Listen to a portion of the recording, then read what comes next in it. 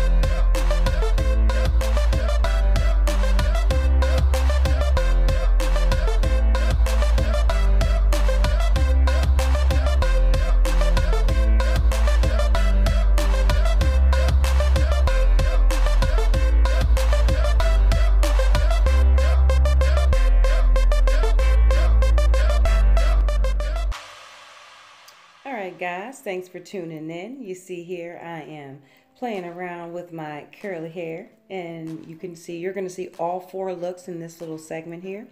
Let me know which look you like the best. Thank you so much BU crew for tuning in and supporting your girl. I appreciate and hopefully I am helpful and um, if there's something that you want to know, drop me a comment below. All right, guys. Oh, yeah. Don't forget, subscribe to the channel. You know I appreciate all my subscribers and my BU crew. Yes. All right, guys. Have a great day. Talk to you later. Goodbye.